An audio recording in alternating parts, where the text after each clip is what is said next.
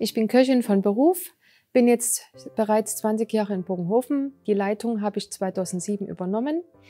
Äh, ich habe es von klein auf schon geliebt zu kochen, aber die bewusste Entscheidung, Köchin zu werden, entstand mit zwölf Jahren. Ich liebe es, mit Lebensmitteln, die uns zur Verfügung stehen, in ihrer Farbenvielfalt, in, ihrer, in den vielen Geschmacksvarianten etwas Kreatives und Gesundes zuzubereiten. Unser Arbeitstag beginnt schon sehr früh. Um 5 Uhr beginnen wir bereits unsere Arbeit. Ähm, wir beginnen mit einem kurzen Gebet. Ähm, um 6.30 Uhr muss das Frühstück auf dem Tisch sein. Während der Zeit bis 14 Uhr bereiten wir das Frühstück, Mittagessen und ebenfalls das Abendessen vor. Zwischendurch wird Graniola gebacken, Brot gebacken, Aufstriche vorbereitet und viele andere Dinge, die währenddessen gemacht werden müssen. Also drei Mahlzeiten innerhalb des Vormittages. In der Küche arbeiten fünf Köchinnen. Alle haben eine Teilzeitstelle. Dazu gibt es auch zwei Volunteers.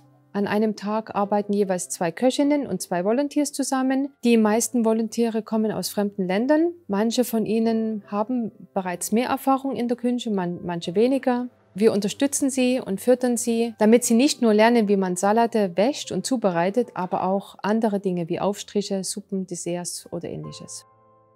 Die Nahrungsmittel, die wir bekommen, kommen aus verschiedenen Quellen. Zum einen haben wir unseren eigenen Bogigarten, von dem wir viel Gemüse und Obst bekommen. Zu erwähnen sind besonders im Sommer die Tomaten, die Gurken, Auberginen, Paprika.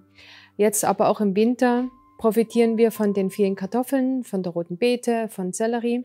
Die sind in unserem Erdkeller gelagert. Wir haben sonst andere Lieferanten, die uns mit Grundnahrungsmitteln versorgen. Eier, Milchprodukte und anderes Gemüse versuchen wir aus der Region zu kaufen.